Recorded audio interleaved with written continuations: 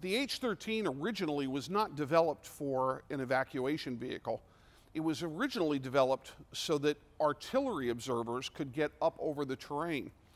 It morphed into its role. This one was actually developed from the get-go to be a true multi-role piece of equipment.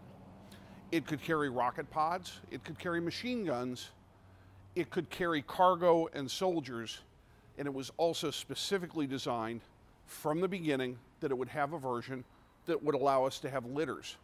Patients could lie on the litters, they could lie on the open floor, and they could also take these seats back in the back. If we go back to the Korean War, what we have is men flying outside of the aircraft. This, we can put them inside. You're not subjected to the weather. You're not subjected to the, that fearful ride of just being hanging out in midair.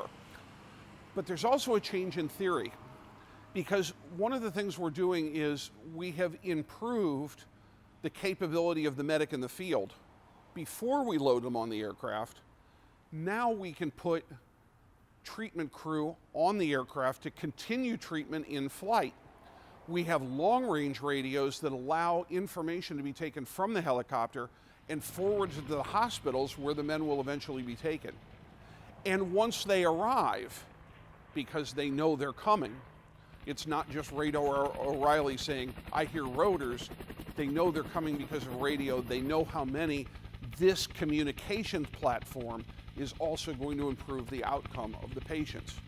Being able to take more men faster, a greater distance, with much more lifting capacity, with a full crew for navigation, communication, and patient treatment, this is a game changer.